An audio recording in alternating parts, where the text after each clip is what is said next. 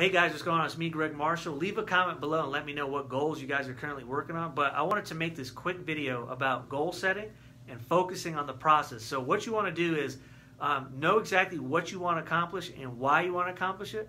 And then once you do that, you want to focus on the process and set one small goal that you're going to do every single day. And the reason why you're going to do that is because each day that's going to compound. And one small goal doesn't feel overwhelming where you just feel like you can't take any action, so why try?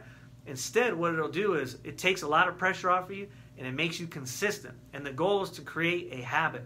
Once you have a habit in place, it's much easier to stay consistent and to keep doing it. So that's uh, that's my main tip on what you should be doing if you want to accomplish your goal. Uh, know what your goals are and then focus on the process. You'll have a lot more fun working towards it with less pressure and your success rate will go way up. So if you like this video, go ahead and follow my Instagram page.